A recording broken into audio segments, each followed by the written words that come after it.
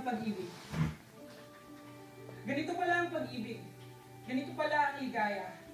Kayang gawing natatangi ang mga payak na araw, ang mga halakhak, gawing musika.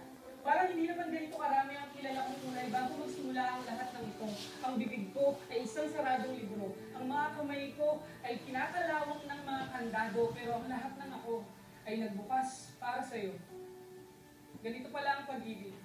Ganito pala ang bigat. Ganito pala ang pakiramdam na maipit sa pagitan nilang lahat. Ang tanawin siya na nakatitig sa iba habang naghihintay na mapalingon siya sa iyo. Ang sumigaw sa ilalim ng tubig nang nandito ako. Ganito pala ang pag-ibig. Ganito pala ang maparalisa. Pinipilit mapanghawakan ng minsang napakawalan ko na. Ang puso ko ay isang silid na puno ng agiw at matagal nang hindi nabibisita pero maniwala ka, nandoon ka. Ganito pala ang pag-ibig. Ganito pala ang mayanig. Pinipilit na sagipin ng hindi naman sa akin para isalba. Marahil noon pa man ay ganito na. Ang mga daliring ito ay hindi magiging sapat para hilahin at piliting pabalikin ng puso mong guriyon na matagal nang tinangay ng hangin. Pag-ibig, gawin mo akong matayog na puno. Ang mga kamay ko, gawing mga sanga.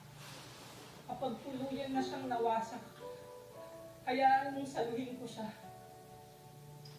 Dahil ngayon ay alam ko na na ganito pala ang pag-ibig.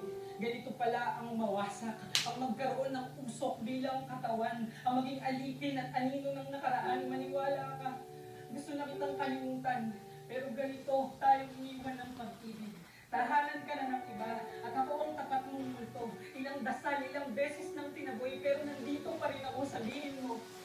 Anong silbi ng pagbitaw kung nakakulong pa rin ako sa'yo? Maraming salamat.